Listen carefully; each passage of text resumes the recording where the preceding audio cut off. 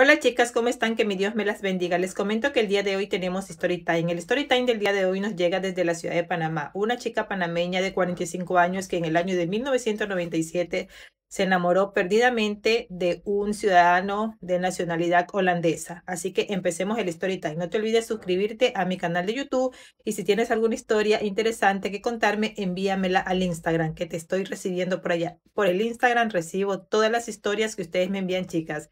Empecemos el story time. En 1997 nos cuenta nuestra amiga que ella tenía duras penas 20 años. Ella había terminado su colegio y se puso a trabajar. Ella dice que trabajaba en una boutique vendiendo ropa. Y en esta boutique ella tenía muchísimas compañeras de trabajo. En una de ellas se hizo muy cercana, entonces ella siempre la veía que esta chica andaba bien vestida y siempre se la veía bien. Entonces ella empezaron a hacerse más cercanas y esta chica le comentó que ella tenía su novio que era holandés y le dijo, mira, yo tengo mi novio que es holandés y es extranjero y nosotros nos conocimos por medio de otra, bueno, otra chica también le habían presentado a esta muchacha, a ese holandés. Entonces ella le dice, mira, ellos están aquí en Panamá porque este, una empresa holandesa los trajo por, por este problema del, del dragado y construcción del canal. Bueno, estaban en reparaciones del canal de Panamá.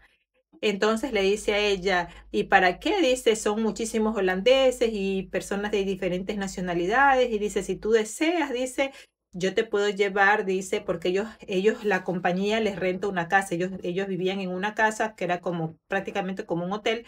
Entonces dice, ellos pasan ahí y dice, siempre los fines de semana nos reunimos, sabemos tomar, sabemos este, hacer fiestas, si tú quieres, yo te invito uno de estos días. Entonces ella como que le pareció algo extraño y dijo que no, ella no aceptó, también porque como ella vivía con sus padres y ya no tenía hijos, entonces como que no, no le pareció. Entonces ella pasó el tiempo, pasó el tiempo y esta amiga siempre le insistía, le decía que sí, que mira, que vamos, que te, hay muchos holandeses solos, y dice, y tú puedes conocer a alguien y todo. Bueno, le metió la inquietud hasta que esta chica aceptó ir a esa casa. Resulta que cuando ella llegó, de efectivo, puros holandeses, todos trabajaban en la compañía y todo, dice que se pusieron a tomar. Y ahí ella hizo match esa noche con un señor. Ella tenía 20 años y este hombre tenía 48 años. A ella le pareció que este tipo estaba muy grande para ella, pero como era un hombre atractivo y ella dice que era guapísimo, ellos empezaron a conocerse. Chicas, like para la parte 2.